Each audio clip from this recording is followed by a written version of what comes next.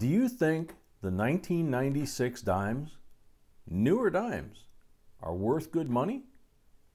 Do you know what to look for? Did you ever hear about a 1996 W dime?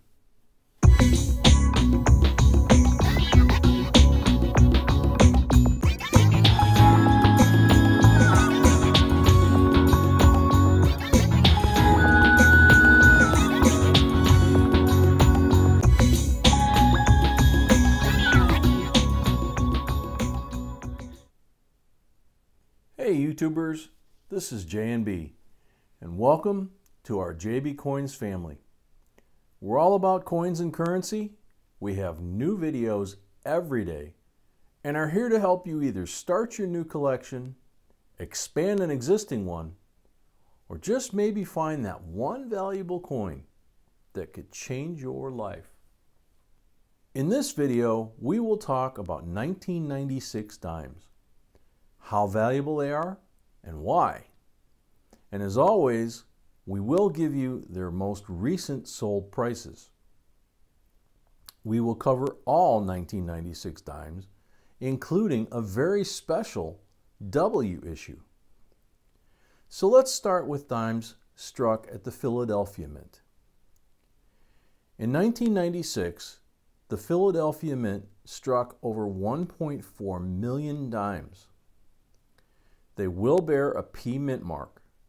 They were struck for business use, and they were very common in up to grade MS67. Then they become scarce, especially with the FB or full band or FT for full torch designations. Full bands or full torch are grading designations which can be applied to Roosevelt dimes. FB is assigned by PCGS, while FT is assigned by NGC. In general, the attribution indicates a coin with a strong, well-defined strike, as evidenced by full details of the torch located on the reverse of the coin. You can see a picture of a Roosevelt dime reverse and the torch. So in order to make a profit, you need to look for at least coins that will grade MS67 plus or higher. This coin is a perfect example. It is in grade MS67 plus full bands and it sold at auction for only $350. This is the latest sale of the dime in that grade. It's not a bad profit for a dime the MS67 Plus is a nice grade, but there's still room to go to grade MS70. So look for them. The MS69, especially the first MS69 that's graded and sold, should bring very nice money. As for dimes struck that year at the Denver Mint, they struck almost 1.4 billion dimes they will bear a D mint mark. And they were also struck for business everyday use. The Denver Mint usually strikes coins in good condition, but it didn't happen in 1996. The 1996 D Roosevelt dime is common up to about MS67 condition, but only without the full band's characteristics. With the full bands, it's scarce in all grades, as the mint more than likely had weakly struck dies which resulted with weak full band details. The latest sale of a dime in MS69 full torch happened at Heritage Auctions, and this coin was sold for almost $500. But it was also in 2014 now, since then, none of these dimes in that grade went to auction.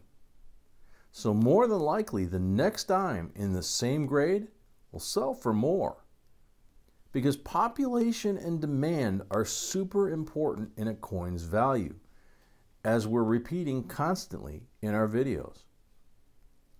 Now, in 1996, the U.S. Mint struck a very special dime at the West Point Mint, and it bears a W Mint mark.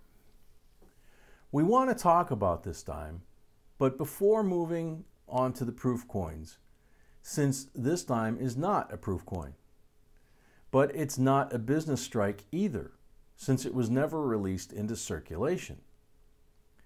The 1996 W. Roosevelt dime is the first United States dime which contained a W mint mark, with a mintage of 1,457,000. These coins were produced at the West Point Mint to celebrate the 50th anniversary of the Roosevelt Dime series. The coins were only sold as part of a special 11 coin mint set that was also released in 1996. Surprisingly, the 1996 W Roosevelt dime also has the lowest mintage of any mint state Roosevelt dime. Its mintage is even lower than the silver dimes from 46 to 64. However, like we mentioned previously, since the 1996 W dimes were not released into circulation, it's technically not the lowest mintage Roosevelt Business Strike dime. Regardless, it is still a very significant modern coin and an important coin in the Roosevelt dime series. So if you're collecting Roosevelt dimes, you need to have it in your collection. And now about their value. In Mint State 69 FT, this coin sold at Heritage Auctions for $411. It's the highest grade known for the W dime with FT or FB designation. They are selling for less than the coins struck at the Denver Mint because they have a larger population in that grade than dimes struck at the Denver Mint. But again, a 1996 W dime is a very important coin in the Roosevelt dime series, no matter what their values are. So moving on to proof pennies struck at the San Francisco Mint. They will bear an S mint mark and have a proof coin finish, which is very shiny compared to a regular business strike coin from the Philadelphia and Denver mints. The San Francisco Mint produced that year clad dimes and silver dimes. The 1996 S proof dimes were sold at that time in proof sets directly from the mint. Silver dimes in silver proof sets and clad dimes in proof sets.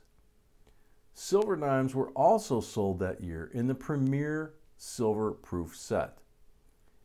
And to make this video more interesting, we will give you a 1996 Premier Silver Proof set.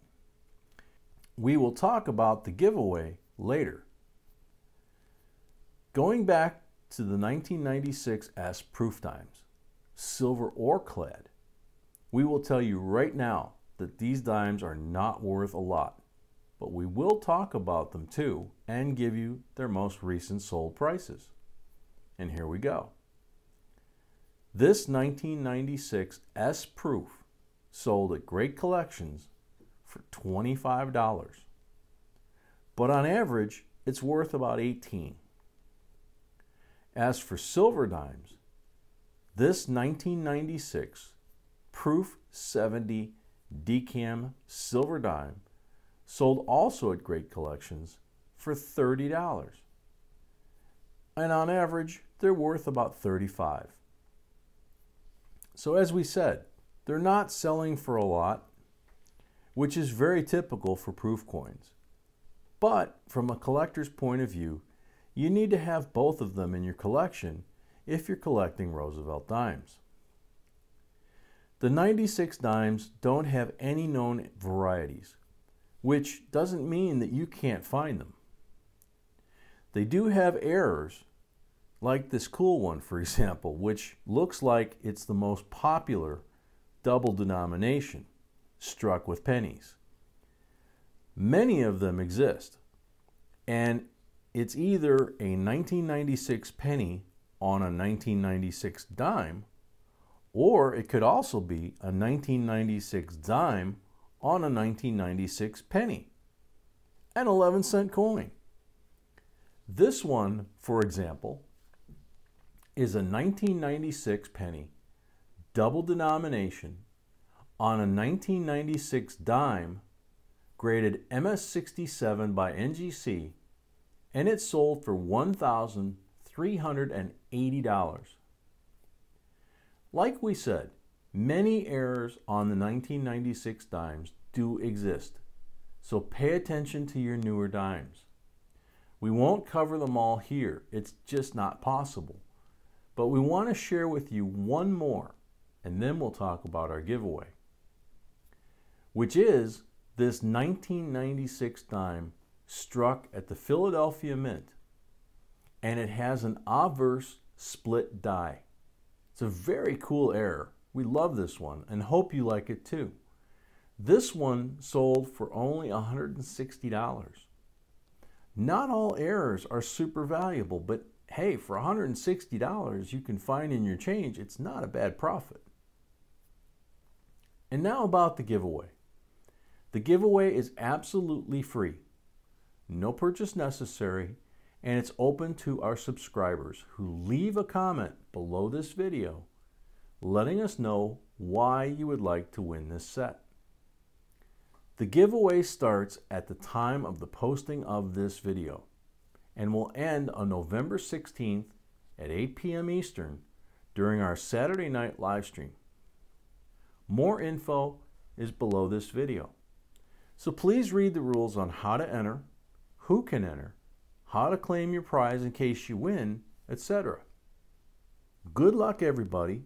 We hope you like the set we're giving away and you liked this video and found it helpful. And if you did, please like, share, and subscribe so we can create more videos for you. Thank you for watching and see you in the next video.